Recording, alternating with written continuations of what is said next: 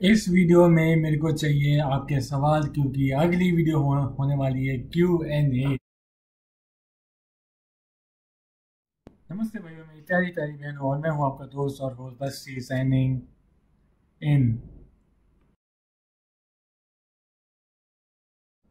तो दोस्तों लाइफ में आगे बढ़ने के लिए आपको दो चीज़ की ज़रूरत पड़ सकती है।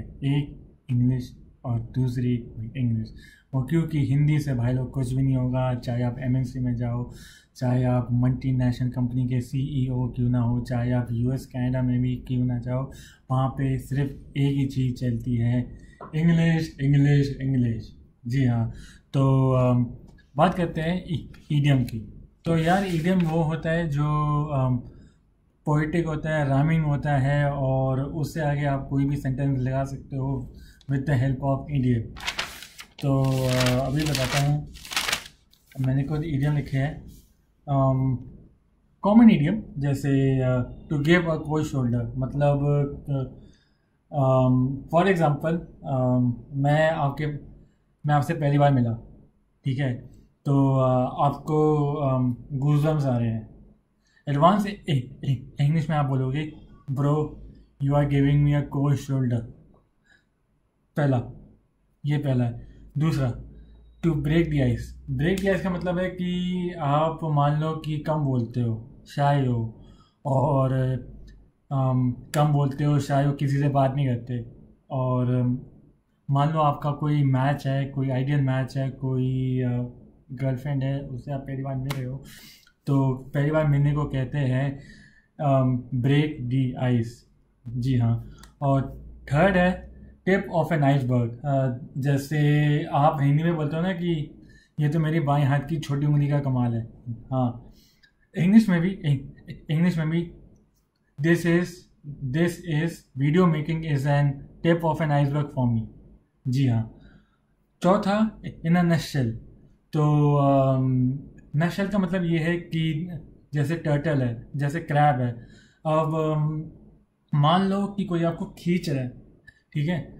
यूजली क्रैब क्या कहते हैं? क्रैब एक दूसरे को खींचते हैं ताकि वो बाहर ना जा पाए। और इसी के लिए हम यूज़ करते हैं don't be in your nutshell जी हाँ। पांचवा है barking up on wrong tree barking up on wrong tree का मतलब है ये है कि जैसे आप आ, किसी को डांट रहे हो किसी को सुना रहे हो गंदे वाला सुना रहे हो जो कि जो कि वो काम उसने नहीं किया। ठीक है जो कि वो काम उसने नहीं किया और आप उसको करने वाला सुना रहे हो आप उसको इतना सुना रहे हो कि वो वो आपको बार बार बोल रहे हैं कि आ, मैंने ये काम नहीं किया मैंने ये काम नहीं किया लेकिन आप उसकी सुन नहीं रहे हो इसलिए इंग्लिश में ये ये मीडियम है ईडियम है sorry barking up on a wrong tree example के तौर तौर पर you are barking up on a wrong tree six cherry on the cake cherry on the cake मतलब बहुत इजी बहुत इजी बहुत बहुत इजी जैसे football is a cherry on the cake Olympic is a cherry on the cake boxing is a cherry on the cake और cricket is a cherry on the cake badminton is a cherry on the cake एक और. Cup of T अब जैसे आपने सुना होगा कि ये मेरे हिस्से की चाय नहीं है. हिंदी में कप ऑफ़ टी का मतलब ये मेरे हिस्से की चाय नहीं है। इंग्लिश में कैसे बोलोगे? इंग्लिश में आप ये बोलोगे कि this is not my cup of tea ये मेरी कप ऑफ़ टी नहीं है मतलब ये मैं नहीं कर सकता। आठवां आठवां ये है कि butterfly in my stomach butterfly in my stomach का ये मतलब है कि आप इतना, आपकी जो पार्टनर है जैसे आप जो आपको सोलमेट भी कहती है, उसे मिलने के बाद आपके बटरफ्लाई इन माई स्टमक हो रहे हो। आपके जैसे आपको भूख लगी है तो आप क्या कहते हो कि यार मेरे पेट में तो चूहे कूद रहे हैं यार। सेम चूहे कूदना हिंदी वर्जन है, इस ईडियम का। English version I am so hungry I am so hungry that I am having butterfly in my stomach ये और भी है, और भी है, जैसे